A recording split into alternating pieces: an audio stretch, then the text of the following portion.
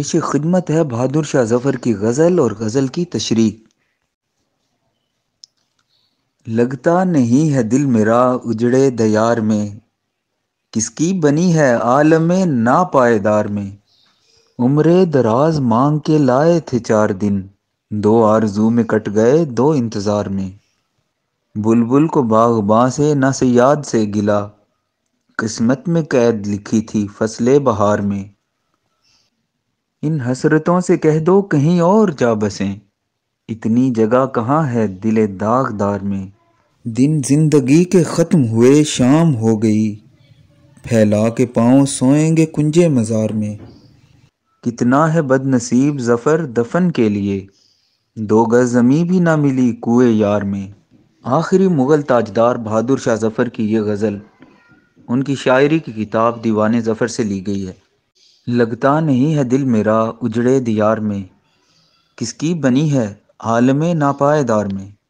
उजड़े दियार से मुराद लुटा पुटा और वीरान वतन है। आलम नापायदार ये फ़ानी और बेसबात दुनिया। आखिरी मुग़ल फरमा रवा बहादुर शाह जफ़र के अहद में। अंग्रेज़ों ने पूरी तरह सल्तनत मुगलिया पर अपने पंजे गाड़ दिए थे। अठारह सौ सतावन की जंग आज़ादी के बाद तो वो हर चीज़ के बिला शिरकत गैर मालिक बन बैठे। बहादुर शाह जफ़र की इस गज़ल में छाई उदासी उन्हीं हालात का नतीजा है। बहादुर शाह जफ़र अपने इस शेर में दुखों और मुसीबतों का बरमला इजहार करते हुए कहते हैं कि मेरी दुनिया उजड़ चुकी है, मेरा वतन वीरान हो चुका है, मेरा हंसता बसता वतन लुट पुट चुका है। मायूसी इस कदर है कि इस तबाह हाल और वीरान जगह पर इस लुटे पुटे वतन में अब मेरा दिल नहीं लगता। ये दुनिया आरजी, बेसबात और बेवफा है। जैसे ये दुनिया मेरी नहीं बन सकी, ऐसे ये आर्जी और फ़ानी दुनिया, इस दुनिया में आने वाले किसी भी शख्स की नहीं बन सकी। ये दुनिया एक आर्जी ठिकाना है। इस नापायदार दुनिया से दिल लगाने का कोई फ़ायदा नहीं। सिवाय वाहदहु ला शरीक की ज़ात के, यहाँ किसी को सबात नहीं। हर एक ने फना होना है। इस गज़ल का दूसरा शेर है उम्र दराज मांग के लाए थे चार दिन दो आरज़ू में कट गए दो इंतज़ार में। उम्र दराज से मुराद लंबी उम्र है। आरज़ू का मतलब ख्वाहिश, तमन्ना। चार दिन से मुराद मुख्तसर तरीन मुद्दत। इस शेर के पहले मिसरे में भरपूर तंस मौजूद है कि जिसे हम लंबी उम्र समझते हैं, वो महज चार दिन की ज़िंदगी है, चार रोज़ा ज़िंदगी है। एक तरफ़ तो ये ज़िंदगी मुख्तसर है, दूसरी तरफ़ दुख और तकलीफ़ें हैं कि बेतहाशा और अनगिनत। और फिर ये चार रोज़ा ज़िंदगी हमारी फजूल और बेफ़ायदा गुजरी है कि इसकी आधी मुद्दत तो आरजुएँ और तमन्नाएँ करते हुए गुजर गई और बाकी आधी मुद्दत उन आरजुओं के पूरा होने के इंतज़ार में गुजर गई। यानी अख्ताम पे हमें कुछ हासिल नहीं हुआ। इस फ़ानी दुनिया में किसी की भी आरजुएँ, तमन्नाएँ और ख्वाहिशात पूरी नहीं होती। एक हसरत ना तमाम लिए सब इस दुनिया से रुखसत होते हैं। गालिब ने इसी उनवान को यूँ बांधा है। हज़ारों ख्वाहिशें ऐसी कि हर ख्वाहिश पे दम निकले, बहुत निकले मेरे अरमा लेकिन फिर भी कम निकले।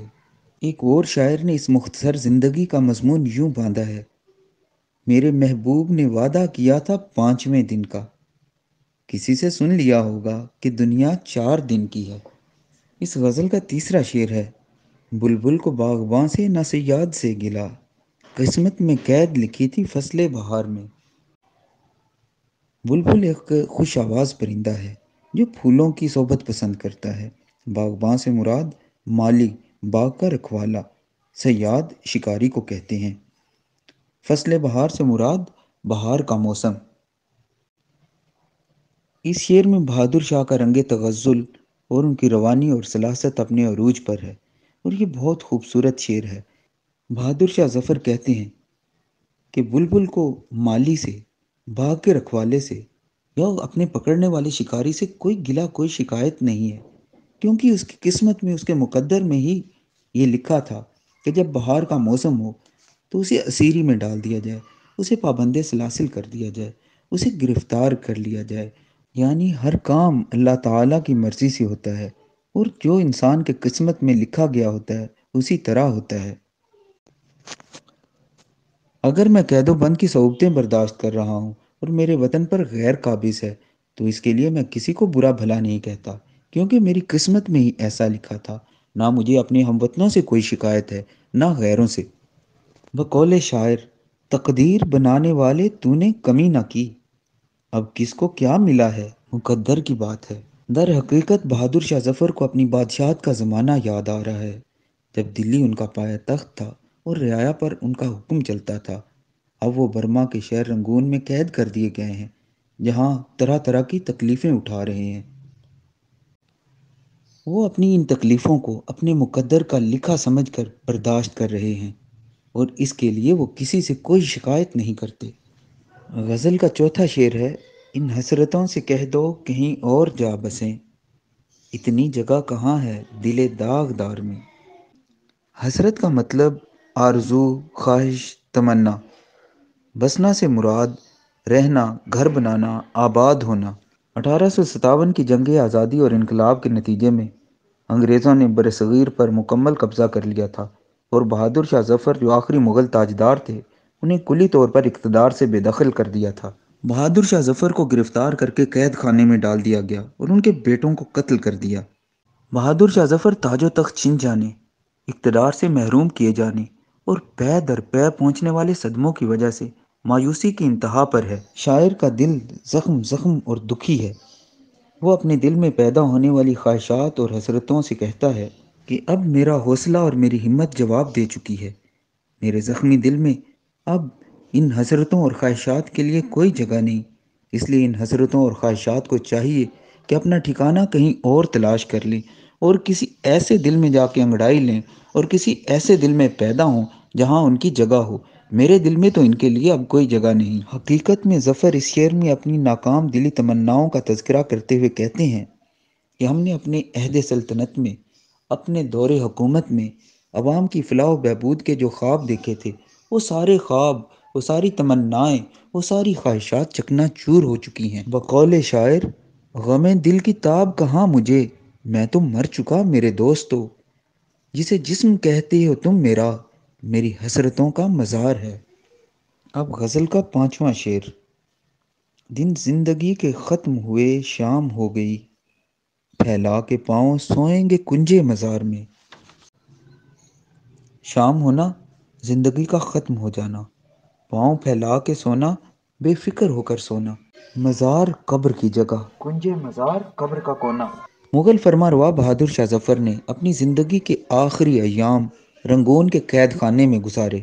शायर इस तंगो तारीख कैद खाने में अपनी ज़िंदगी के आखिरी अयाम गुजारने पर मौत को तरजीह देता है। उसके नज़दीक दुनिया की परेशानियों और दुखों का वाहिद इलाज मौत की सूरत में है और सुकून सिर्फ़ कब्र में ही नसीब हो सकता है। और वो कहता है कि ज़िंदगी का अख्ताम हो रहा है। दुखों और तकलीफ़ों से निजात मिल जाएगी। इसके बाद हम अपनी कब्र में सुकून से क़यामत तक के लिए सोएँगे। ये दुनिया की तकलीफ़ें और दुख हमसे दूर चले जाएँगे। अफलातून जैसे मुफक्र से भी जब किसी ने पूछा कि आपने मौत से सख्त किस चीज़ को पाया है, अफलातून ने जवाब दिया ज़िंदगी को, क्योंकि मौत तो इन तमाम तकालीफ का ख़ात्मा करती है जो हम ज़िंदगी में झेलते हैं। इस गज़ल का आखिरी शेर है, कितना है बदनसीब जफ़र दफन के लिए तो गज़ ज़मी भी ना मिली कुएँ यार में। कुएँ यार का मतलब महबूब की गली या कूचा, यानी अपना मुल्क। बदनसीब, बदकिस्मत, मुकद्दर का हारा हुआ। दो गज़ ज़मीन, थोड़ी सी ज़मीन, कब्र के लिए दरकार जगह को भी दो गज ज़मीन कहते हैं। दुख, मुसीबतें, मुश्किलात, महरूमियाँ और बदनसीबी इस कदर है कि मरने के बाद भी हमारा पीछा नहीं छोड़ रही।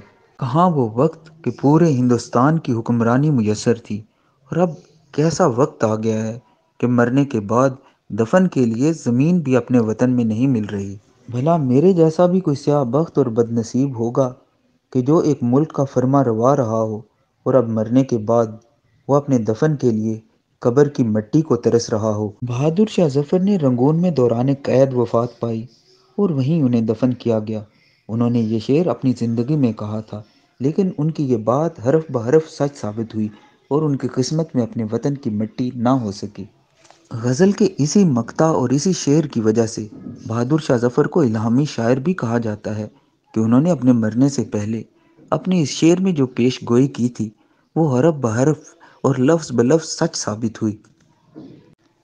बकौल शायर, मट्टी नसीब हो न सकी कुए यार की, आखिर उठा दिए गए उसकी गली से हम।